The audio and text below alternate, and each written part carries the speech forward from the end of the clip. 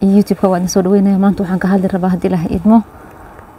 Reading akhrinta bugagta iyo sida ay noogu suurta gashay sanadkani saad ogeedeen sanad kasta bilowgiisa waxaan soo qaadaa akhrinta bugagta iyo bugagta aan raba inaan akhriyo haddii ilahay nafta ii deysto iyo siyaabahan u akhrin doono.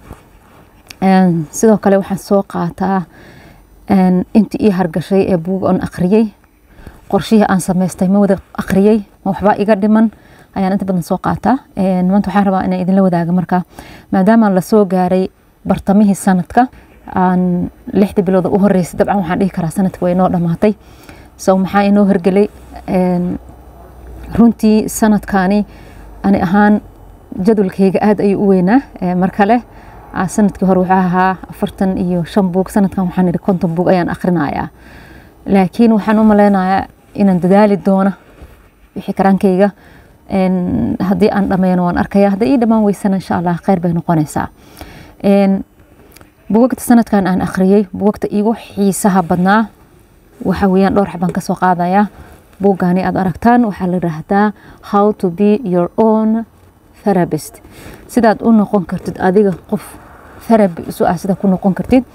Inta badan markaan psychologiga ka hadlayna qaybta toromada loo yaqaano ama waxyaalaha urkutaalada ama mushkuladaha qofka nolosha uu ka soo qaaday. Badanaa qofka wuxuu u baahan yahay qofka inuu helo qof therapist ah ama la taliyo ah ee arimihii kala taliyo oo dhegeysto ama qof psychiatrics ama ku takhasusay dhinaca maskaxda ayuu qofka u baahan yahay. Buuggan marka wuxuu kuleeyahay adiga ayaa usu noqon kara uma baahni inaad qof u tagtid.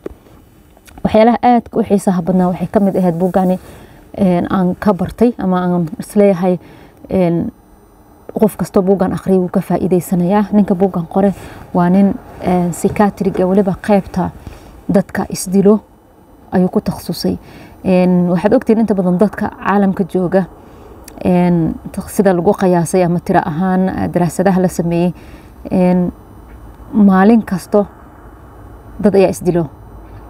Dhowr kunoo qof maalin kasta isdilo nafta isdhaafiyo taasoo ay keenayso qofna ma jiro inuu asoo nool inuu nafta isdhaafiyo laakiin mushkuladaha nolosha iyo caqabadaha nolosha in ay u adkeysan waayaan islamarkaana nafta isdhaafiyaan marka buuggaani ninka qore waxa uu ahaa ilaa afartan sano waxaa loo diraa dadka isdili rabo ama laga shakiya inay isdili rabaan ama laga shakiya inay maxay haday halis naftooda gelinayaan ama dad kale ay halis gelin karaan taasoo ay keeni karto dhinaca maskaxda qofka markay waxyeelo ka gaarto ama taromada ay ku weynaato marka waxyaalahan ka barta runtii ayay ka mid ahayd buuggaani haddii qofkii aqri wax badan ayuu ka faa'iideysan karaa.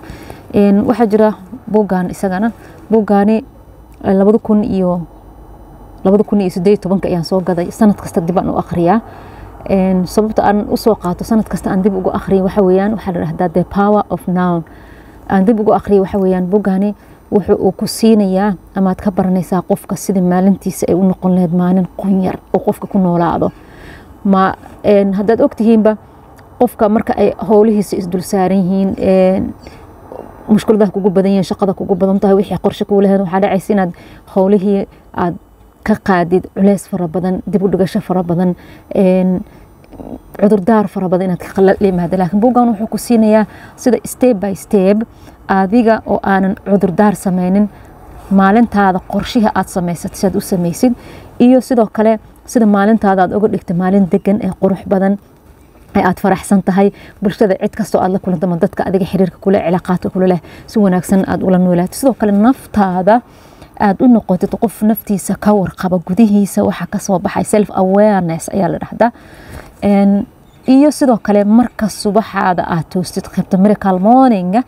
sida subaxaada loogu bilaabo subax qurux badan loogu bilaabo ayaad ka baranaysaa buuggaani runtii buuggan waxaad ka heli doontaan qofkii akhriyo waxaa la dhahdo la talin badan oo dhinaca spiritualka ku saabsan waan ku celceshtaa buuggaani sidoo kale buuggan the richest man in babylon. Buuggan horey waxaan u akhriyay isagoo digital ah laakiin isaga oo oo cover ah gurig maan keensanin sanadkan igu horeysay laakiin asoo digital aan akhriyay asoo cover sanadkan waxaan u akhriyay waxaan ugu talagalay inaan bal waqti geliyo oo aan hergeliyo waxyaalihi aan ka bartay runtiina buuggan waxyaalaad ka baran kartid. Waxaa waye dhinaca dhaqaalaha markay noqoto. Sida dhaqaalahaada aad u maareyn kartid sida aad u noqon kartid qof investor ah lacagta ay u shaqeyso oo isaga aan lacagta u shaqeynin. Sad ogtii inteena badan dadka ku nool dunida waxay u shaqeeyaan lacagta.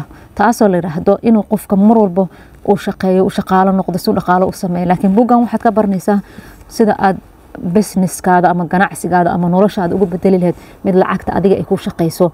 Ee aadan lacagta uga welwelin dhaqaalaha xagee iga maraa xageeba iga soo gala aad uga welwelin. Laakiin aad noqotid qof master dhaqaalaha ku ah ama dhaqaaluhu sameynaya si macquul ah oo wanaagsan ee deganaan iyo nasasho iyo nolol qurux badan oo farxad ku jirta. Aad u samaysid ayaad ka baranaysaan. Sidoo kale buuggan sannadkii labaad ayaan akhriyey. Isagana waxaa la yidhahdaa seven secrets to investing like a warren prophet buuggaani horey waan ka hadlay waa investor.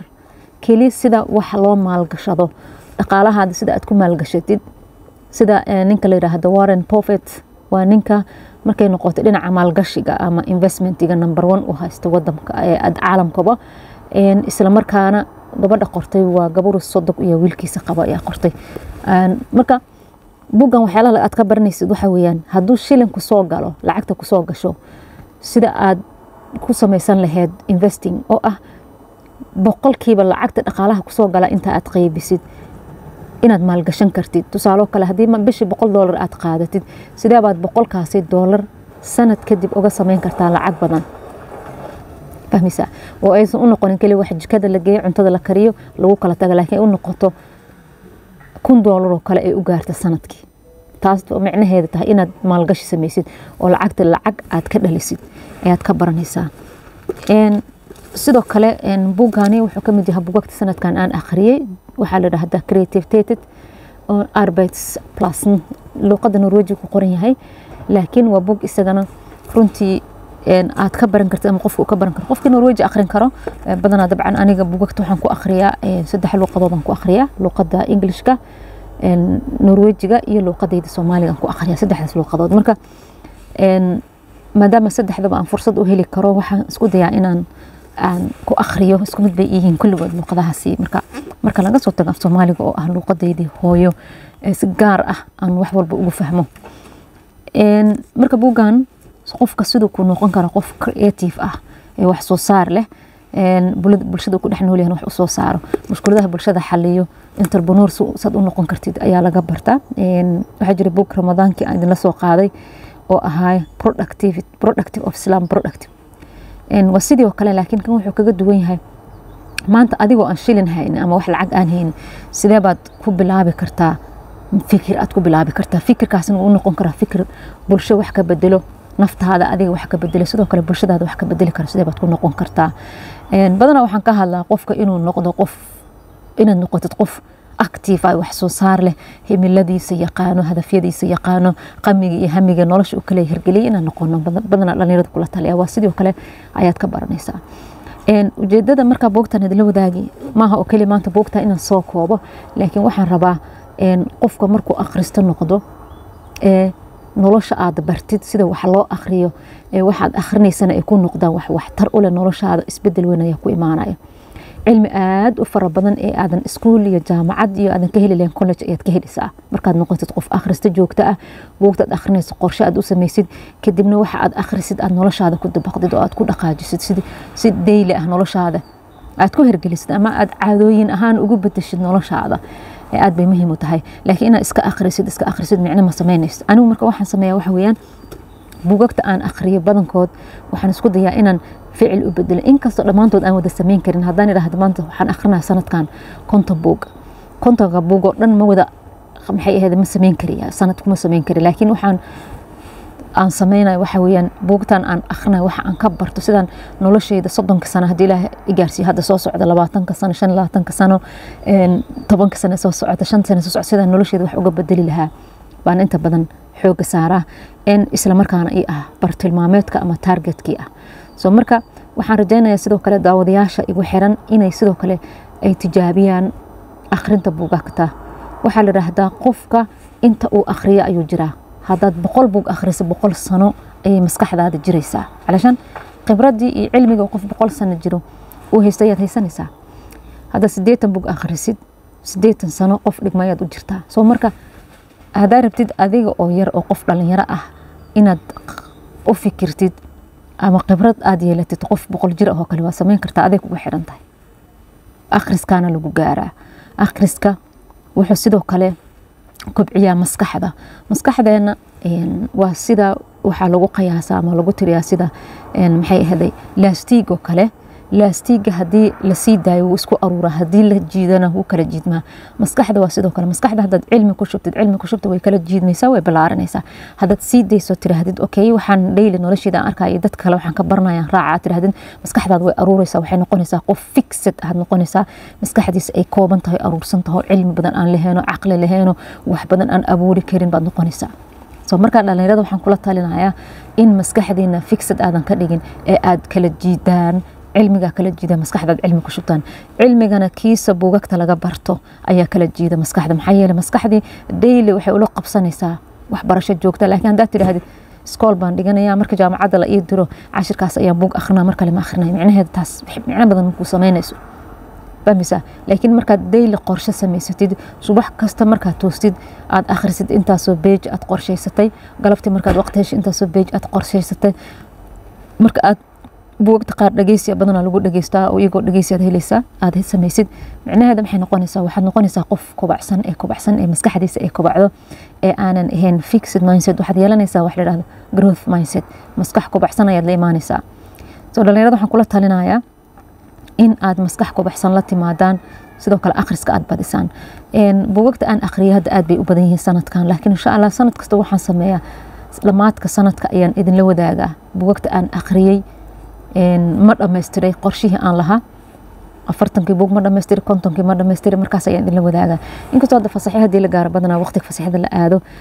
Bishan iyo bisha julayba badanaa fasaxyada markii la galo qofka hadduu safar aado ama fasaxi aado waxaa laga yaabaa dadkii iyo bulshada u dhexgalaya inuusan wax badan akhrinin nolosha iska caadi noqoto. Laakiin noloshayda aniga caadi subax kasto iyo galab kasto wixii aan akhrinaa qorshe ayaan u samaystaa sida caadiyan horeba idinkula wadaaga marka waxaa idin leeyahay daawadayaal isku daya inaad noqotaan dad akhrista akhriska waxaa laga bilaaba meel yar.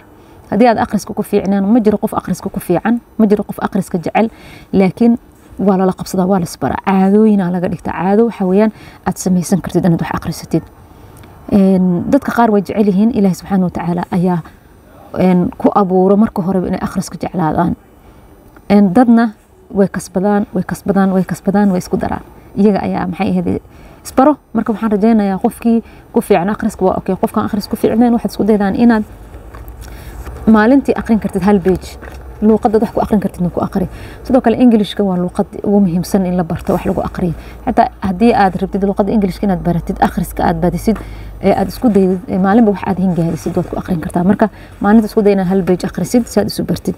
Kadibna hal beej markaad aad keentid oo caado ahaan ay kuu noqoto inaad laba beej u gudubtid saas aad ku akhrisaan insha allah taas ayaa muhiim ah aad baad u mahadsantiin waxaan rajaynayaa cashirkaani ugu yaraan inuu dhiirigelin kuu noqday aniga haddii aan akhriyey afartan shan buug haddii aan aniga akhrin kara soddon konton buug sannadkii adiga waad akhrin kartaa maxaa yeele waxaa laga yaabaa inaad iga waqti badan tahay anigu waxaan ahay hooyo waan shaqeeyaa full time aan shaqeeya waxbarashaan ku jira qayb waxbarashaan ka wadaa qayb business online aan sameeya.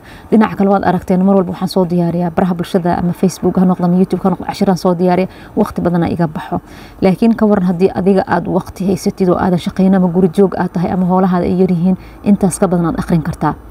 Ma iga ma kaa badni ma cilmi badni ma waqti badni. Afar saac haystaa afar saacaan haystaa. Fahmaysaa? Marka dadaalka unbaa laysku dhaafay in qorshe la sameeyo ee wixii la hergeliyaa laysku dhaafay. Marka waxaan insha allah idin rajaynayaa inaad waqtiga ka faa'iidaysataan akhrintana aad badisaan aad baad u mahadsantihiin asalaamu calaykum waraxmatullahi wabarakaatu